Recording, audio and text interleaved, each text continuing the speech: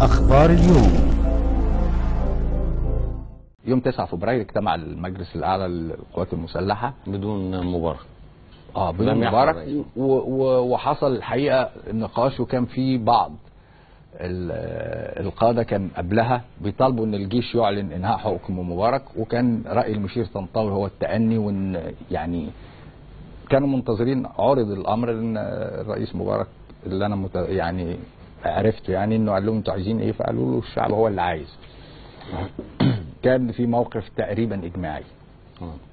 آه، حتى إن المشير طنطاوي طلب إن يعني إيه حد من كبار القادة يسأل المرحوم الفريق رضا حافظ كان قائد القوات الجوية على أساس علاقة مبارك بالقوات الجوية كقائد آه. تاريخي ليها.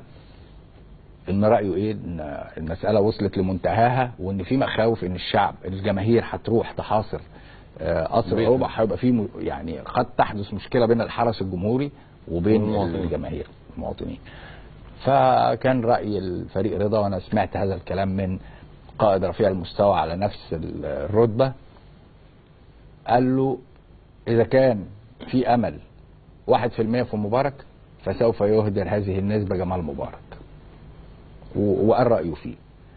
آه، كتب آه، الفريق عبد العزيز سيف الدين صيغة البيان زي ما شفناها وأذيعت يوم 10 فبراير. ده كان الاجتماع استمر لحد فجر 10 فبراير. استوقفتني البيان كان فيه ثلاث عناصر رئيسية.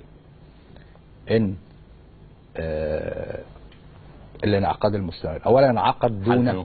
دون القائد الأعلى. يعني خلاص عزلوا. الجيش عزل قائده الأعلى. تمام. أو اعتبر إنه غير أهل لهذا المكان.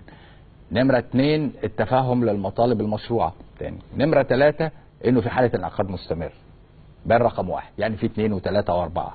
وإنه في حالة انعقاد مستمر. يعني اتصلت آه، بشخصية كانت موجودة في السلطة في ذلك الوقت. وقلت له أنت شايف البيان إزاي؟ قال لي ممكن يبقى فيه تفاهم. قلت له أنا وجهة نظري فيه كذا وكذا وكذا. انتهى هذا النظام.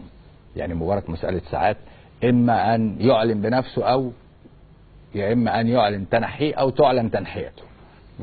آه كنت متابع مع مصادري في القوات المسلحة يمكن الجورنان صدر آه في عدد 11 فبراير. يعني اللي هو الأحداث اللي بتحصل 10 في عدد 11 فبراير بعنوان الجيش ينحاز للشعب. تمام. آه، كان المفترض إن مبارك يبقى فيه في ذلك اليوم إنه يطلع البيان وبعدين أرجئت زي ما إحنا عرفنا لحد آه، فبراير وإن البيان يصدر بعد ما يصل إلى شرم الشيخ آه، ما كانش فيه أي مخرج آخر لأن آه، آه، رغبة الشعب